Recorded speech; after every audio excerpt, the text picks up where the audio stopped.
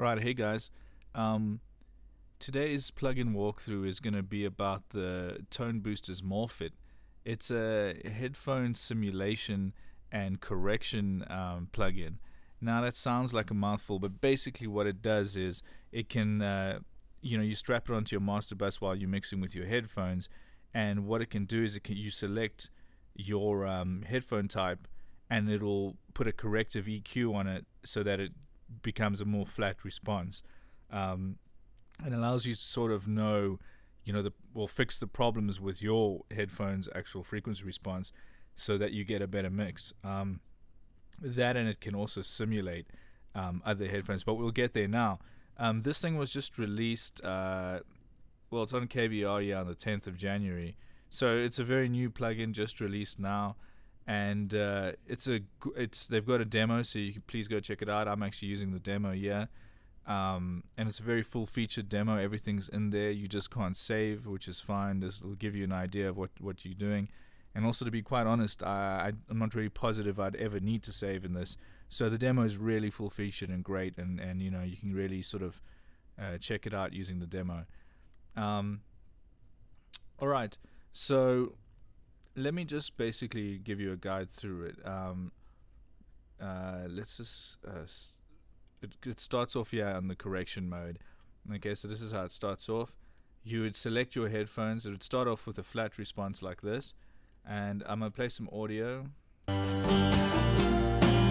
right, and then what I'm gonna do is I'm gonna select my Beats uh, Beats Studio 2s, and it'll obviously make a correction. The sun shines just as beautifully right here. It's beautiful right here. It's beautiful right here. It's beautiful right here.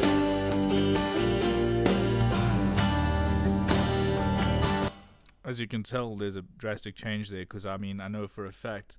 Let's just go back to my beats again you know they do exaggerate the bass. There's no doubt about that, and you can see yeah it's cutting it. So I mean, it's pretty accurate, I'd say, and it, it does it. It definitely gives me a flatter response.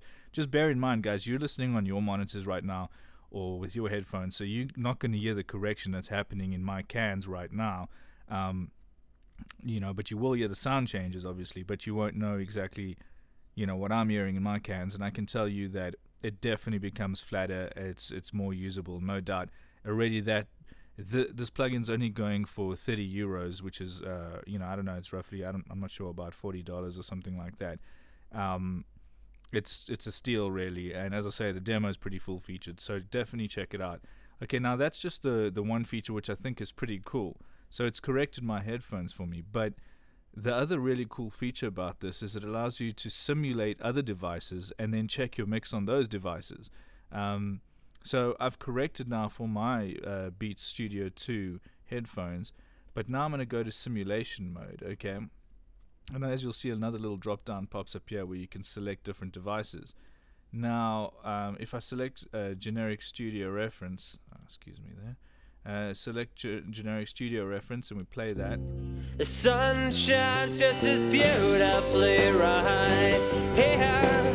It's beautiful right so that's just a basic uh, reference sound. Now let's go ahead and put on generic earbuds afterwards and hear how my mix would sound through um, through some you know little uh, iPod type earbuds or whatever. The sun shines just as beautifully right here. All right, and it's now let's change over. Right here.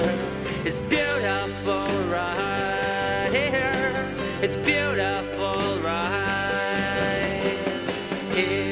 that's definitely that's fantastic. That definitely sounds like earbuds, and uh, I can already immediately tell that um, because I'm losing all that bass, I'm gonna want to go into my bass guitar, and over here, you know, around about between you know 100 and something, 250, around about yeah, I'm gonna try get a bit of harmonics and distortion on my bass, that kind of thing. You know, so it, it informs me. It allows me to know that I want the, the user's not going to hear that, so this and that. You know, we already know. You know, let's face it, we already know that a lot of these curves um, in our heads and things. We already, you know, know a lot of uh, various hard devices sound.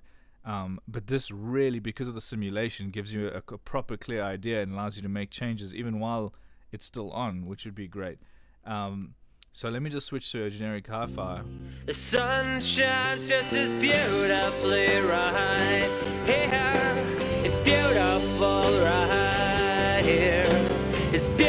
Switch to some different headphones. Here. It's beautiful right here.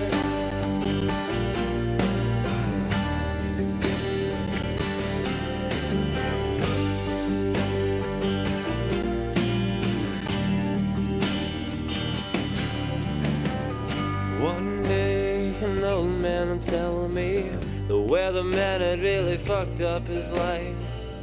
One day he's gonna preach about something and tell me all about his wonderful life. Someday, newspaper tell him another war will take. As you can see, it, it drastically changes, and and it, it seems like they've really captured the impulse response, if I'm not mistaken. Um, I think it's called that. They've really captured it perfectly on all of these pairs of headphones that they've got. Now, I'm not positive whether they're ever going to be updating this list, but I'm pretty sure they would. I don't think they would just leave it stagnant and never bother going back and changing. So if your if your cans aren't really here to start with, there's already a lot of them. But if if they aren't, then um, you know, no stress.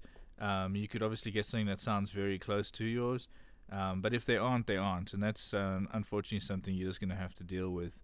Um, you know, maybe check out the demo and see if they are, and that way it'll help you. If because it really, if if if if it's not, I worry that you'd be not correcting properly and then not simulating properly, which means you might be defeating the point um, of the plugin. So there we go.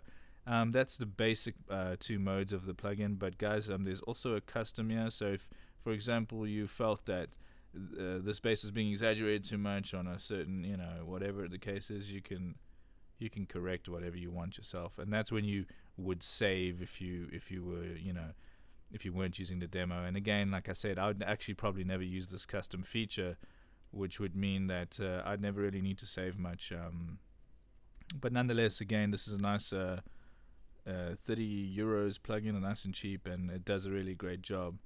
Alright, um, please subscribe if you like my videos, and uh, thanks. Catch you later.